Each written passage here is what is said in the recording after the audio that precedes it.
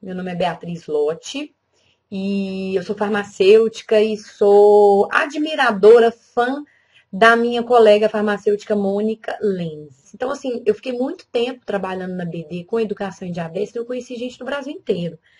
É, muitos profissionais de saúde, né? E assim, eu posso dizer que a Mônica é a pessoa que consegue impactar o maior número de pessoas com diabetes. Eu, eu encontrei na Mônica algo que, infelizmente, a gente não encontra em todo mundo.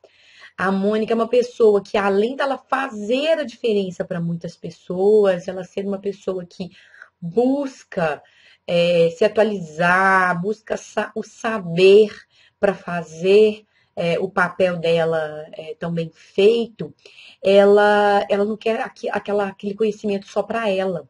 E ela não quer o conhecimento só para o cliente dela, ela não está focada no sucesso dela.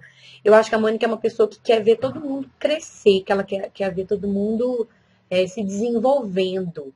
E a experiência dela, para mim, está sendo muito rica na fase atual que eu estou vivendo, que é uma fase é, carreira solo, né? Eu estou começando a trabalhar de uma forma mais autônoma também em educação. Coincidentemente, eu também gosto muito desse assunto. E então, assim, o meu contato com ela está sendo muito rico por causa disso. Ela, a diferença que a Mônica tem feito na minha, na minha vida, né?